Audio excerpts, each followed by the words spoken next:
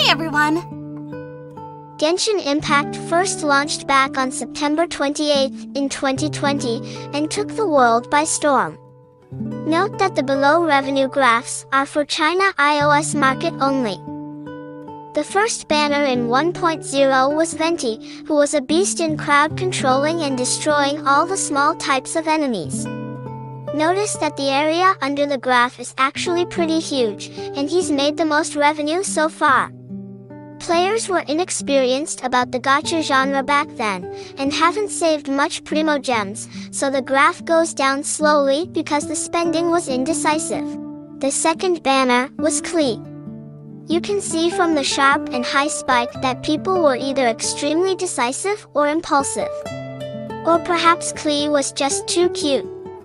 But also it was still Cryo Debuff Abyss, and if you didn't own a Diluc at that time, Klee was the best 5-star Pyro DPS you could have. The first banner in 1.1 was Childe. Childe is always sandwiched between great banners.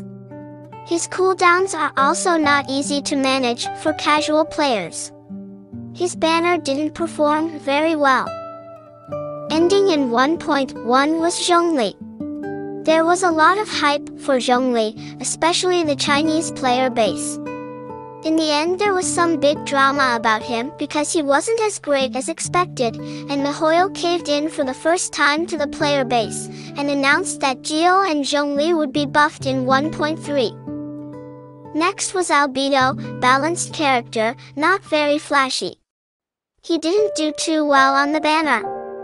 Here comes the era of the top 3 Liyue DPS. There was Ganyu, who was just ridiculous without the need to rely on cooldowns. She was also the first waifu to appear on character banner. Still one of the top 4 performing banners as of today. Xiao was highly anticipated since closed beta, and his spikes were higher than Ganyu. His raw multipliers made him excel as a DPS, especially with many mobs around.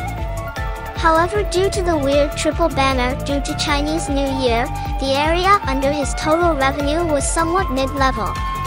I won't talk about the Keqing filler banner at all. Not noticeable due to her being a standard banner character. In the last leg of 1.3, the Hu Tao and Homa banners combined did well, and were ranked as the top 3 performing banners. Homa and Wolf's Gravestone was a pretty sick weapon banner, and had its own spikes. Hu Tao Vape teams still rank as one of the top 3 performing team comps as well. In 1.4 when Venti came back, everyone who missed him was trying to get him. The two-day spikes were very high, just losing to Klee. He just had the best CC in the game when it came to small enemies. His DPS was alright as well and the utility he brought was just too good. Again, next came the Childe sandwich. He was in between two Archons and didn't do very well. Zhongli's rerun was a chance for those who missed him to grab him. He was already buffed since 1.3 and was the best shield in the game. He made fighting bosses like Azhdaha a piece of cake. Eula in the last bit of patch 1.5 did alright. She had caveats like backloaded damage and being physical damage. Plus the Abyss had lectors at that time, so she didn't seem as great. She would rise up in usage after patch 2.0 Abyss monster changes. When Klee came back in 1.6, she didn't do very well. People already owned Diluc, Hu Tao, or were using Xiangling. She was just another Pyro DPS that wasn't that special. When Kazuha first came out, people were indecisive, you can tell from the banner slowly sloping downwards. Players thought that if they owned Venti or Sucrose, he wasn't that crucial. His banner didn't do too well. But later on Kazuha would rise to be one of the most useful and flexible utility characters in the Abyss. 2.0 was the release of Inazuma, and Ayaka was one of the most anticipated waifus since closed beta. She had a pretty strong burst and was a balanced character. Her banner performed just under the icons and characters like Hu Tao and Ganyu. Yoimiya is a character that many players complained about. She felt a bit underwhelming and wasn't particularly strong at anything.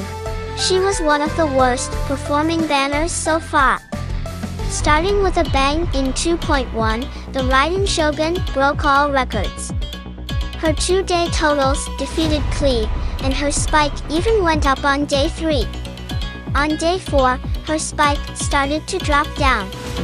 There was lots of hype for her, she was flashy and had Booba sword. The Archon plus waifu combination was very strong too. So now revealed are the two-day totals as well as the banner totals for each character. If you want to use these data and graphs in your content, please send me a DM on Discord and don't just steal the content. Do be nice like this Japanese guy and ask for permission and properly credit my YouTube channel. There's already been some posts taken down on Reddit and we're on the lookout for posts without proper credit. Hope you enjoyed this look back in time on the banners of Genshin Impact, and do subscribe to catch the latest news and guides. If you enjoyed the video, please subscribe and hit the like button. See you next time. Bye bye!